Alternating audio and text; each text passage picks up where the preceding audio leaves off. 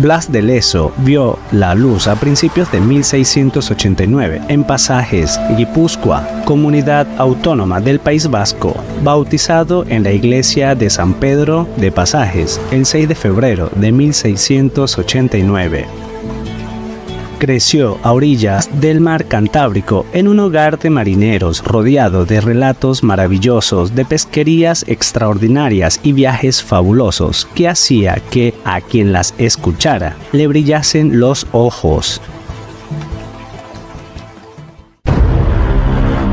Tras la muerte de Carlos II de España o el rey hechizado, quien fue el último rey de la Casa de los Austrias y el inicio de la guerra de sucesión al trono español, que duraría aproximadamente 10 años, Leso, con apenas 13 años, en 1702, lleno de orgullo y honor, tomó la heroica decisión de entrar a la Guardia Marina en la Armada Franco-Española. Su formación y capacitación las llevó a cabo en París y debutó por primera vez en la armada del principal almirante, el conde de Tolosa, hijo bastardo de Luis XIV de Francia. El 24 de agosto de 1704, la toma de Gibraltar por los anglo-holandeses por el almirante George Rooke quien al mando estaba, recibió la noticia de que una flota franco-española se aproximaba. En efecto, una escuadra había partido desde Tolón con el fin de detener la toma de Gibraltar, dando inicio a la batalla de Vélez Málaga. De un lado, la escuadra franco-española, formada por 51 navíos, 6 fragatas, 8 barcos cargados con municiones y explosivos y 12 galeras, con un total de 3.577 cañones y más de 24.200 hombres. Y del otro lado, los anglo-holandeses, con 53 navíos, 6 fragatas, un barco cargado con municiones y explosivos, 3.600 cañones y más de 22.000 hombres, pues la otra mitad de su infantería la había dejado en la reciente conquista de Plaza de Gibraltar. Fue una feroz batalla donde ambas escuadras lo dieron todo, con casi 6.000 bajas por ambos bandos, donde ambas escuadras quisieron atribuirse la victoria, pero se considera que fue una victoria franco-española a nivel de táctica. Blas de Leso participó como guardia marina a las órdenes del almirante Conde de Tolón. Se distinguió por su serenidad y análisis a nivel táctico de la batalla, pero aunque perdió la pierna izquierda de un cañonazo, no abandonó, siguiendo en su puesto de batalla. Tras el retorno a la base de Tolón, el propio almirante le elogió por su comportamiento ante la batalla, siendo ascendido a alférez de bajel de alto bordo y asistente de cámara de Felipe V, pero que esta última la rechazó ya que prefirió seguir luchando a bordo de los barcos de la Armada, lo cual, como sabemos, fue una suerte no para él, sino para el imperio español. Cuentan que Blas no se quejó ni lamentó en el transcurso de la amputación de su pierna, realizándose sin anestesia. En 1705, durante la Guerra de Sucesión Española, el almirante Blas de Leso tomó parte en las operaciones de socorro de la Plaza de Peñíscola, en Valencia, que había sido sitiada por el ejército del aspirante al trono Carlos VI de Habsburgo. Los tripulantes de la flota de Leso atacaron el campamento enemigo, capturaron suministros y cañones que luego se usaron para fundir campanas en la torre de la Ermitana en Peñíscola. También llevó armas y municiones a Palermo, en Sicilia. Entre 1705 y 1706 se le asignó a Blas de Leso castigar el comercio de Génova, pero que cerca de esta ciudad atacó e incendió por primera vez un navío inglés, el Resolution, con 70 cañones, superiormente armado en comparación con su pequeño navío, cerca de Ventimiglia. En 1706, siendo comandante de un destacamento que defendía el fuerte de Santa Catalina en Tolón contra el furioso ataque del príncipe Eugenio de Saboya, Blas de Leso perdió el ojo izquierdo de un cañonazo en la fortificación. Una esquirla se le alojó en su ojo izquierdo, que explotó en el acto. El 11 de abril de 1713 se selló la paz de Utrecht, mediante la cual la Casa de Austria abandonó sus reclamaciones al trono español, cediéndolo a los Borbones. No obstante, el puerto de Barcelona se mantuvo inquebrantable y resistió durante más de un año el asedio conjunto franco-español, hasta que finalmente cayó ante un asalto el 11 de septiembre de 1714. En uno de estos enfrentamientos, el 14 de agosto de 1714, el capitán de fragata sufrió la pérdida de su brazo derecho. Así, a los 25 años, Blas de Leso quedó mutilado en la mitad de sus extremidades. Los lugareños de Guipúzcoa lo apodaron Anca Morts, en vasco, que significa medio hombre. Tras una breve recuperación, regresó al servicio y se unió a la escuadra que llevó a la reina Doña Isabel de Farnesio desde Italia a España, y en 1715 participó en la reconquista de Mallorca dirigida por don Pedro de los Ríos. Después de la Guerra de Sucesión, la Armada Española se centró en enfrentar a los piratas ingleses y holandeses, quienes habían infligido considerables daños económicos a España. Blas de Leso recibió el encargo de esta tarea en 1716 como comandante del navío el Lanfranco. Lideró la flota de Nueva España que transportaba un cargamento de plata a la metrópoli. Luego se unió a la escuadra de Urdizo y Martinet para combatir a los piratas en el Mar del Sur, permaneciendo en ese servicio durante 14 años. Durante este tiempo navegó a lo largo de las costas de Perú y Chile y ganó fama por sus valientes enfrentamientos con los corsarios enemigos. Su legado se construyó sobre los exitosos ataques sorpresa contra los bucaneros, convirtiéndose en una auténtica leyenda naval. El 5 de mayo de 1725, Blas de Leso unió su vida en matrimonio con doña Josefa Pacheco en Lima. La ceremonia tuvo lugar en la hacienda de la Magdalena. Un hijo nació de esta unión y fue bautizado el 1 de junio de 1726. Sin embargo, los deberes marítimos llevaron a Blas de Leso de regreso al mar poco después el 18 de agosto de 1730 regresó a Cádiz, donde asumió el rol de comandante de la Escuela del Mediterráneo. En diciembre de 1731, en calidad de comandante, acompañó al infante don Carlos, futuro rey Carlos III, a Italia para tomar posesión de los ducados de Toscana, Parma y Florencia. Durante esta época demostró nuevamente su genio guerrero al atacar a Génova con seis navíos, obteniendo dos millones de pesos para la corona española que se destinaron a la planificada expedición a Orán.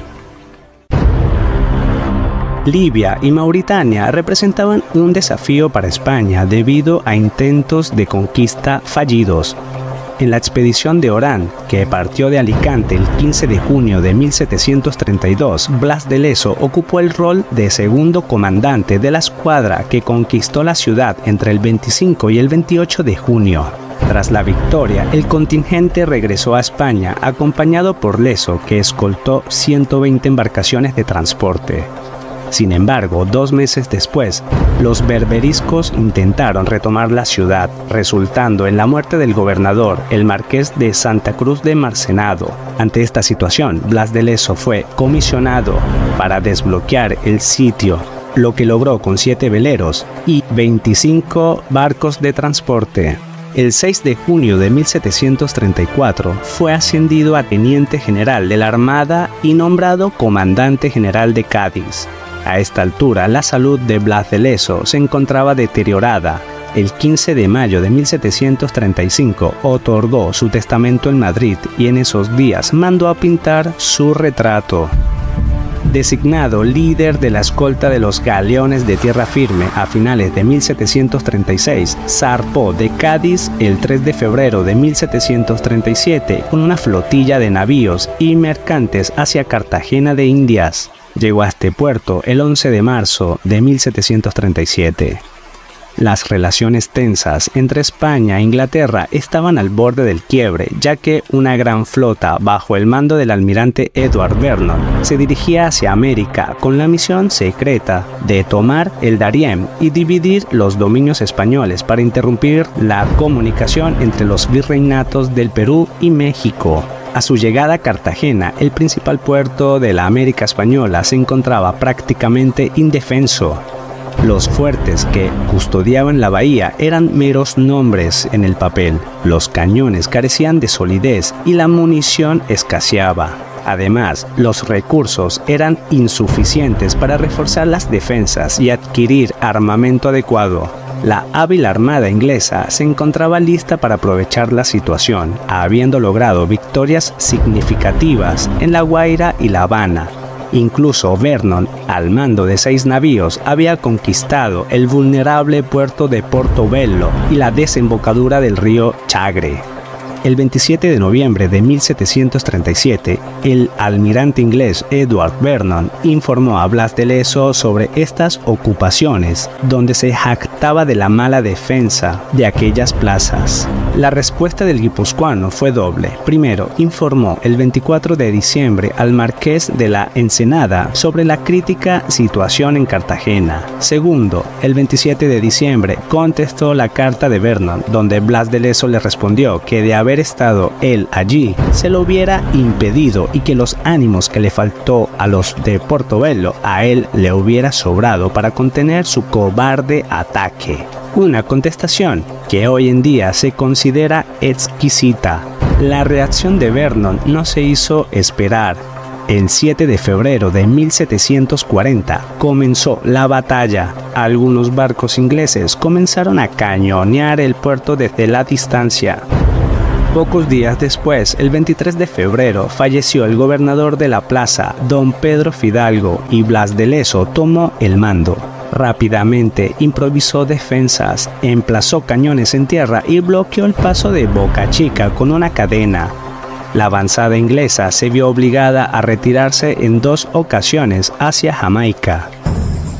El 21 de abril, el recién nombrado virrey del restablecido virreinato del nuevo reino de Granada, Sebastián de Eslava, llegó a Cartagena de Indias con dos navíos y suministros. Se centró inmediatamente en reforzar el castillo de Boca Chica y los fuertes, reparar armamento, abastecer de municiones y entrenar a la tropa improvisada. En paralelo, el almirante inglés había reunido en Jamaica la flota más grande y poderosa jamás vista en los mares americanos. Entre el 13 y el 15 de marzo de 1741, la flota del almirante Vernon se desplegó a dos leguas de distancia de Cartagena, con una imponente fuerza que incluía más de 140 naves, 36 de ellas navíos y el resto fragatas, transportes, brulotes y bombardas. A bordo de estas naves se encontraban 900 hombres de desembarco y 2.000 combatientes negros armados con machetes.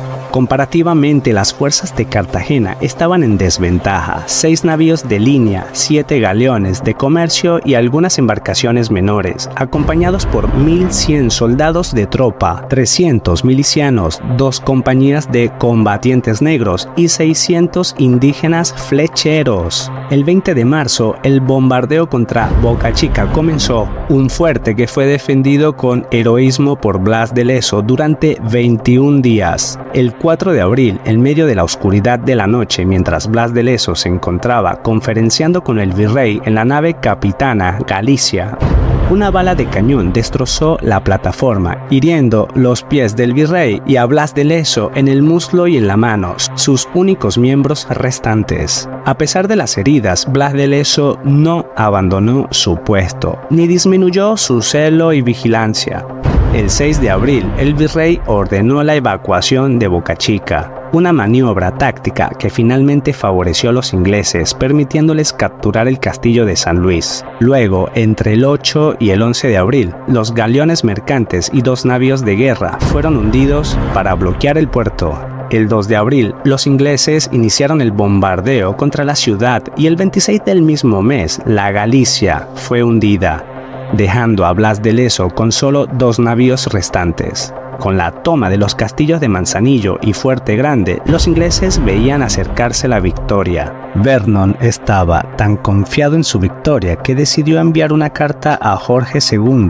En esa carta afirmaba que, para cuando el rey recibiera el mensaje, ya habría asegurado el control de la plaza. Esta acción desató un delirio en Londres, llevando a la creación de una moneda conmemorativa en honor a la victoria inglesa en Cartagena de Indias. Sin embargo, ante esta situación, el valiente Blas de Leso decidió hundir sus últimos barcos y preparó para luchar cuerpo a cuerpo, una resistencia que los ingleses no pudieron superar. El 28 de abril el fuego cesó y el 30 se llevó a cabo el intercambio de prisioneros. Para el 20 de mayo no quedaba una sola vela inglesa cerca de Cartagena. Vernon, a pesar de tener un historial destacado en la Marina, la controversia por el fracaso de la derrota británica en Cartagena seguiría persiguiéndole. No fue hasta 1745 que, al sentirse relegado por el gobierno, decidió renunciar a su posición en la administración naval.